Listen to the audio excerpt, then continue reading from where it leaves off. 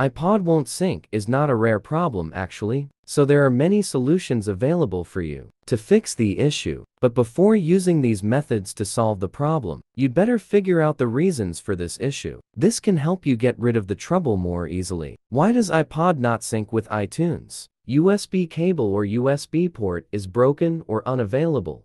The connection between iPod and iTunes or computer is unstable the version of your iPod operating system or iTunes is outdated, you have not authorized your iTunes or computer, you have turned on iCloud Music Library. 10 easy ways to fix iPod won't sync issue. Method 1. Restart your iPod, computer, and iTunes. Method 2. Try to connect via other USB cords and ports. Method 3. Sync iPod data via Wi-Fi. Method 4. Ensure the versions of iTunes and iPod OS are update to date. Method 5. Reauthorize your iTunes and computer. Method 6. Disable iCloud Music Library and show Apple Music. Method 7. Run iTunes as administrator Windows. Method 8. Sync iPod with iTunes manually. Method 9. Reset and restore iPod. Method 10. Try to sync iPod without iTunes. To achieve this goal,